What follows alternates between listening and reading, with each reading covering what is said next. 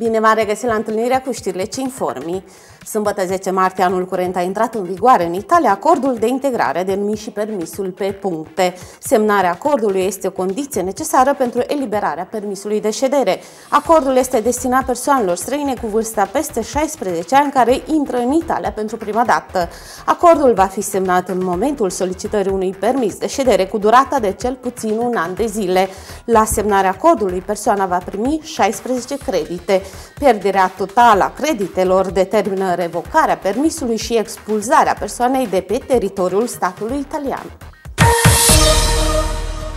Un apel la Guvernul Italiei pentru găsirea în timp cât mai scurt a unor soluții pentru migranți solicitați de azil și refugiați originari din diverse țări ajunși în Italia în anul 2011 din cauza conflictului din Libia.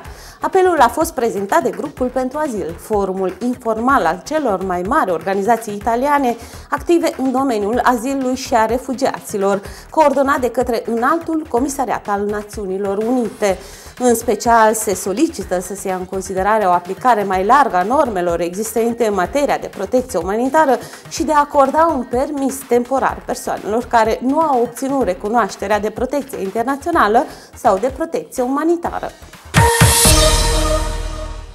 Teama față de persoanele imigrate care exista cu mulți ani în urmă în Italia pare să fie diminuită, arată raportul privind securitatea în Italia și în Europa, editat de Demospi, observatorul de Pavia și Fundația Unipolis. Astăzi, imigrația reprezintă o problemă pentru doar 6% dintre italieni. În ultimii ani, procentajul a depășit 10% cu un vârf de 13% în 2007. Problema imigrației este astăzi pe locul 6 pe lista problemelor cu care se confruntă italienii, în timp ce pe primele locuri se află șomajul, calitatea serviciilor de sănătate și cele sociale, criminalitatea comună, mediul și deteriorarea sa, precum și inflația. Autonomia este un instrument excepțional și amintirea trecutului de emigranți al acestei comunități face ca Trentin să fie mai deschiși. De aceea, cetățenii imigranți vin cu plăcere aici, a spus Nadia Culiatina sâmbătă 10 martie anul curent la manifestarea populară organizată cu scopul promovării autonomiei speciale a regiunii Trentino.